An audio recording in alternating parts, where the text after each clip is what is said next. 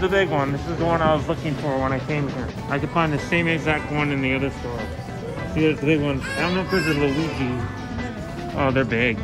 Oh, they are big. See Luigi and Mario. So what if I just get this?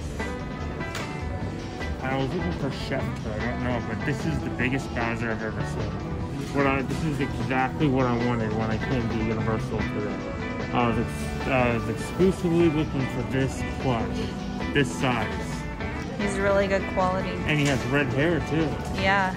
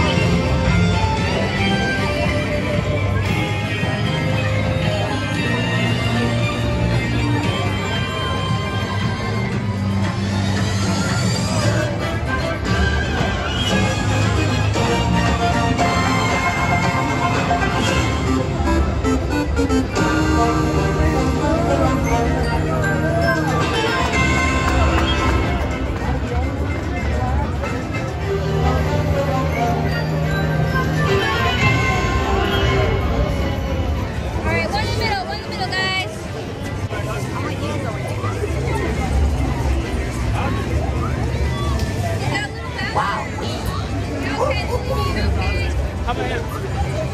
Okay, all right, guys, one,